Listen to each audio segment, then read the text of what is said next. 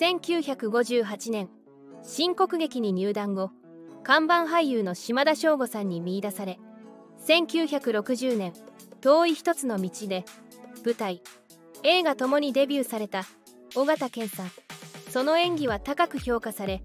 名俳優の地位を確立されています。今回はそんな尾形健さんの死因奥さん息子について見ていきたいと思います。昭和の名俳優として2008年に亡くなる直前まで活躍していた尾形健さん。息子には尾形直人さんや尾形寛太さんがいますが尾形直人さんの息子で尾形健さんの孫にあたる尾形淳さんも2017年10月にドラマ「陸王」で俳優デビューを果たしました。尾形健さんといえば日本を代表する俳優の一人で特に演劇界において高い功績を残し2008年10月5日に他界しましたが同月31日に朝日賞受賞が国から授与されています。また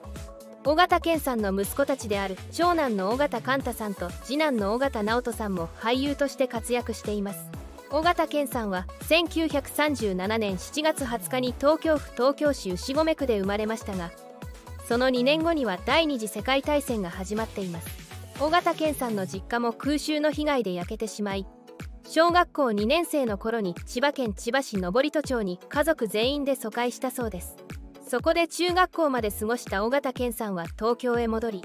東京都立竹早高等学校を卒業するとかねてから憧れだった俳優になるために新国劇に入団しました。尾形健さんは新国劇の看板俳優だった辰巳龍太郎さんに弟子入りしたいと考えていたそうです。尾形健さんは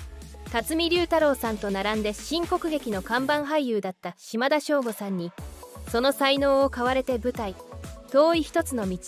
のボクサー役で主演デビューを果たしています。この舞台は映画化もされて尾形健さんはスクリーンデビューも果たしています。尾形健さんの演技力は瞬く間に注目され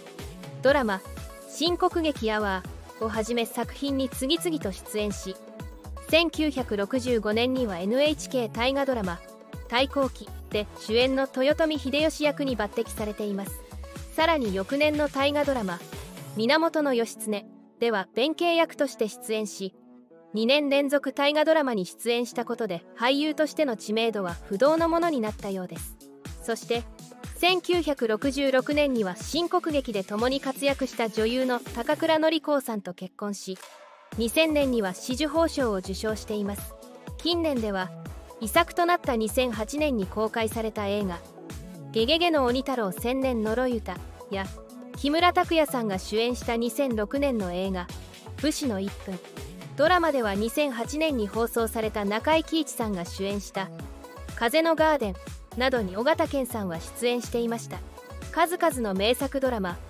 映画などで活躍してきた名俳優の尾形健さんが2008年10月5日に逝去したことが伝えられました。死因は肝臓がんだと言われています。尾形健さんの告別式は都内の大日本宍喰会本堂で厳かに執り行われたようです。尾形健さんは約8年前から慢性肝炎を患っていたそうですが尾形健さんの意思で関係者には黙っておくように周囲に通達していたようです。それは尾形健さんが役者魂により病に打ち勝つという強い意志の表れだったようですが慢性肝炎から肝硬変に悪化しそして4年前からは肝臓がんに病変していたということです。尾形健さんは亡くなる前日に腹痛を訴えて都内の病院に搬送され肝臓からの出血があったことで手術を受けたそうです。一時は病状が回復したかに見えたものの5日夜に容体が急変。肝臓破裂による出血が起こりました。尾形健さんは亡くなる直前までしっかりと目を見開いて家族と会話をしていたということです。息子の尾形直人さんは9月に父尾形健さんと美術館に行く約束をしていたようですが尾形健さんの遺作となったドラマ風のガーデンのクランクアップの関係上先延ばしにされたようです。しかしその約束は叶うことなく尾形健さんが言ってしまったことに尾形直人さんは3日間涙が止まらなかったようです。尾形寛太さんは「風のガーデン」のロケが北海道富良野であることから父尾形健さんの体調を心配していたようですが撮影現場に出ると元気になる尾形健さんの姿を見ると止めることはできなかったそうです。尾形健さんは風のガーデンを最後まで撮り終えて安心しきったことで緊張の糸が切れて病状が悪化したのかもしれませんが命が燃え尽きるまで俳優として生きたことは本望だったと思われます。死の直前まで仕事復帰を望んだ尾形健さんの俳優魂は孫の代まで受け継がれているようです。1966年当時駆け出しの俳優だった尾形健さんにとって嫁になった高倉典子さんは新国劇所属の人気女優であり高嶺の花的存在でした。男ばかりの新国劇の中で貴重な娘役女優だったことから恋愛の競争率は高かったと思います。しかし当時俳優としてのキャリアは駆け出しに近かった尾形健さんにとって高嶺の花でしたが楽屋で初めて会って恋に落ちてから結婚を約束して交際をスタートさせたようです。お二人は7年越しの恋愛を実らせて結婚したということなので馴れ初めは1959年頃のまさに尾形健さんが新国劇に入団して翌年のことでした。新人俳優ながらホープと期待されていた尾形健さんのカリスマ性に嫁高倉天功さんも一瞬で恋に落ちたのかもしれません。尾形健さんは嫁高倉天功さんと1966年に結婚し1968年に新国劇を退団してテレビドラマや映画の世界で活躍を続けてきました。尾形健さんと嫁高倉天功さんの間には2人の息子と1人の娘が生まれ長男の尾形寛太さんと次男の尾形直人さんはベテラン俳優として現在も活躍しています。3人兄弟は年子であり尾形寛太さんと尾形直人さんは10ヶ月しか違わないため双子と勘違いされることもありテレビで共演した時には年齢が同じだったりすることから誤植を疑われることもあったようです。10ヶ月違いだと兄弟でも学年が一緒になることがあるのは面白いですが尾形寛太さんと尾形直人さんの学年は違うようです。尾形直人さんはドラマ「北の国から」や「世界遺産」のナレーションなど第一線で活躍し続けているベテラン俳優です。尾形直人さんは1987年に青年座研究所に入所し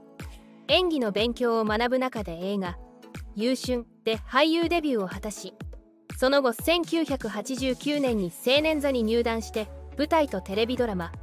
映画において現在まで第一線で活躍を続けています。ただ2015年以降テレビで姿を見かける機会が減ったことからネットでは干された。とも噂されたようですが2017年には藤原竜也さん主演のドラマ「人間の証明」に出演し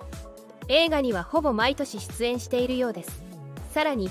尾形直人さんが認知症といった噂が出ていました。この噂が出始めた頃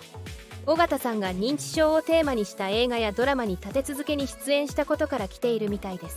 尾形直人さんが認知症に関するドラマや映画に出演していたということから単語が一人歩きして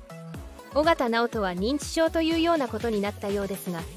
実際のところは認知症になっていません。噂はそれだけでなく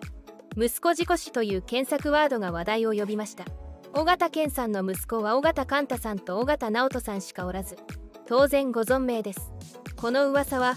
1978年に尾形健さんが出演した松竹映画「鬼畜」で尾形健さんの役の嫁が子供に激怒して虐待死させ事故死に仕立て上げるというシーンがあるようでこれを見た人が検索を始めたことが影響しているのかもしれませんね。